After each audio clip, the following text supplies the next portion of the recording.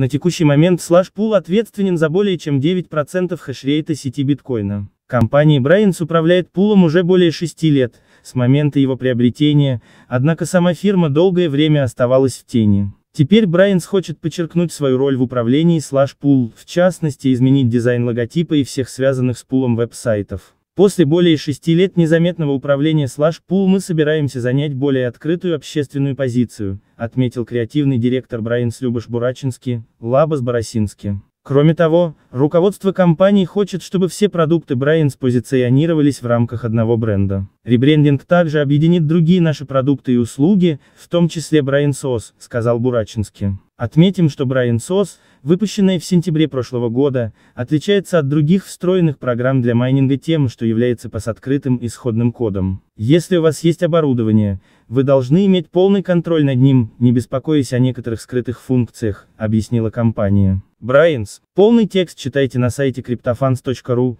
ссылка на новость доступна в тексте под видео.